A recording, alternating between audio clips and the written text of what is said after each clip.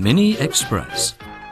The standard version of the train includes one locomotive, one tender, and three wagons, with seating capacity for approximately 24 children. The Mini Express does not require rails. It is battery powered, therefore very environmentally friendly, very maneuverable with a turning radius of just 550 centimeters. Operating time on one fully charged battery is 15 to 20 hours. A wide variety of options and custom-made decorations are available. This train is suitable for shopping centres, amusement parks, events and several other applications.